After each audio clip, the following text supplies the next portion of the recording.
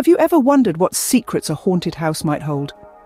Picture, if you will, a grand old mansion standing alone against the backdrop of a dark, moonlit sky.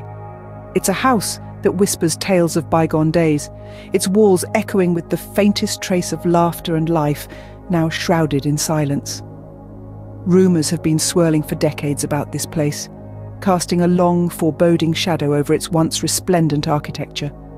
From the unusual flicker of lights in the dead of the night to the sudden chill that sweeps the corridors, from the soft rustle of unseen footsteps to the inexplicable whispers that hang in the air, this house is a repository of secrets. Each room, each crevice, is a silent testament to the countless stories of the unknown that lurk within. As I approached the house, the air grew colder, and an indescribable sense of dread washed over me.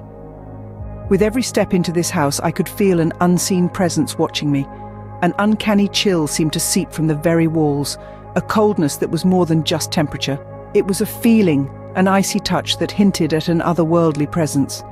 The air was heavy with something unspoken, a silence that was intermittently broken by whispers, whispers that seemed to creep up from the very floorboards, a hushed conversation from a time long past.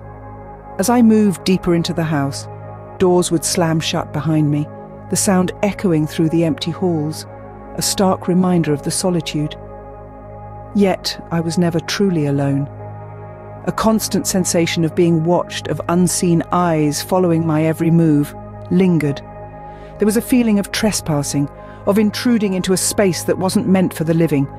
It was as if the house itself was alive, its ghostly inhabitants restless.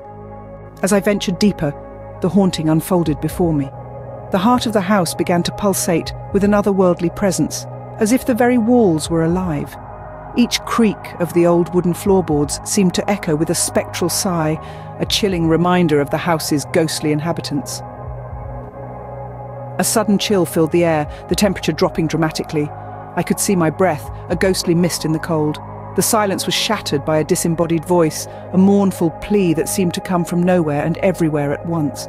The words were unintelligible, but the emotion was clear, a sorrow so deep it had transcended death itself. Then came the phantom footsteps, a slow, deliberate tread echoing down the empty corridors, growing louder and closer with each passing second. It was as if an unseen spectre was making its way towards me, its invisible gaze fixed on my trembling form. Next, spectral apparitions began to manifest. A shadowy figure here, a flicker of movement there, each one more terrifying than the last, their ghostly faces twisted in fear and despair, crying out for help from beyond the grave.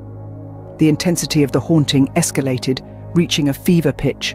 The air crackled with paranormal energy. The very fabric of reality seemed to warp and twist in the face of such supernatural phenomena. Each room held its own eerie tale. Each corridor echoed with whispers of the past. But the mystery only deepened, the house holding its secrets close.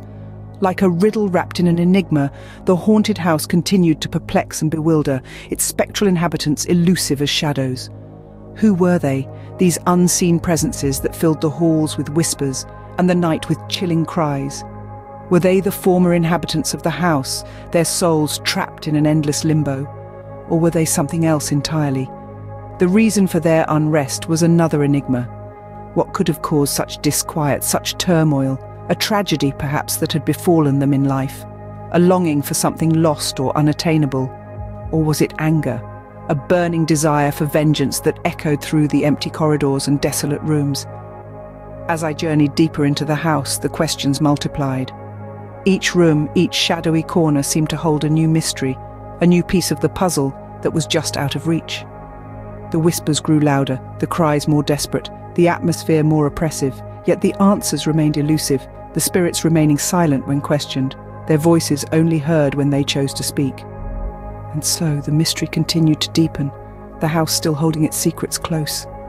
As I left the house, I couldn't shake off the feeling that there was much more to uncover, much more that the house was yet to reveal.